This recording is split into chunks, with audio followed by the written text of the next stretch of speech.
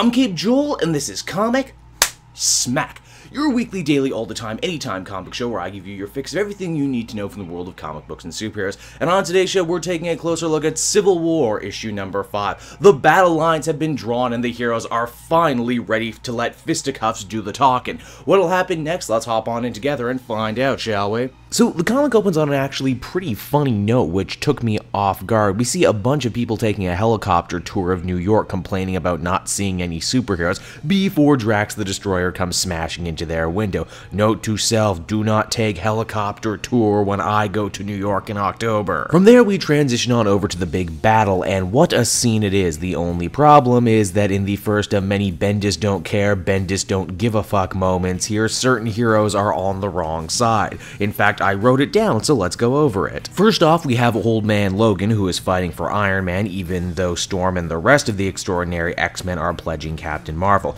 Luke Cage is also on Tony's team, despite the fact in his own book he swore to be a neutral party and then was later forced to join Carol's team in order to save Iron Fist. Captain America Steve Rogers is also shown to be on Tony's team, even though in every other book so far he's been working side by side with Carol. But hey, at least the fight itself is cool, right? I mean, we've waited seven issues to get here, and yeah, it's pretty cool to see these heroes throw down, but it gets less and less cool when you realize Bendis stops the bigger moments of the battle so he can write his favorite characters even when they have no real hooks in the actual story. Case in point, Luke Cage versus Blue Marvel. Cool fight does nothing to move the story forward. Magik not only defeats Sam Wilson, but embarrasses him by teleporting him all the way to Hollywood. Again, funny gag, I enjoyed it, but what does it do, Basil? Same goes for Iron Man and Captain Captain America wondering aloud why the Guardians are helping Carol of all people when Quill knows Tony almost as well. FYI, if you read the Guardians tie-in, which Bendis also wrote, you find out the only reason the Guardians of the Galaxy are on Captain Marvel's side in the first place is that she just kinda sorta got in contact with him first. Meaning that if Iron Man was the first to place a call, they would be fighting on his team right now. But by far the strangest little aside has to be the one had between Miles Morales Spider-Man and Flash Thompson Venom, making this the first time these two characters have actually ever met before.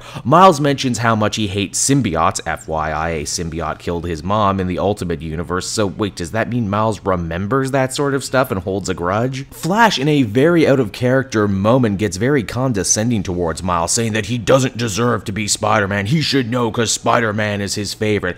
Yes, I know, a lot of people are still very crappy about Miles as Spider-Man for very superficial reasons, but please, please, Bendis, don't make Flash Thompson one of those people. We like Flash and we'd like to continue liking him, please, if you don't mind. Now, so far, Iron Man's team has more warm bodies on it, and because of it, they have the advantage, why his group even ends up destroying the Milano in the fight. But things change the other direction when the Inhuman Royals come to back up Carol. What's shocking is that even though the Inhumans have come to join the fight, they made Ulysses, you know, the person everyone's fighting about, stay behind and guard the base. This unsurprisingly ends up upsetting the kid, and because his powers are based on emotion, he ends up causing everyone to have another giant shared vision of the future, only this time it shows Miles Morales having killed Captain America. Which seems to be a pretty shocking possible future, but then you're reminded how inaccurate Ulysses' visions have been made out to be, and also the fact that this Captain America still believes himself to be a Hydra sleeper agent, so when you take all those factors into account, it gets a lot less shocking. As the comic ends, a shocked Captain Marvel attempts to arrest Spider-Man in front of everyone else. Civil War number 5 was yet another frustrating issue in what is quickly becoming one of the most frustrating events I've read in a very long time.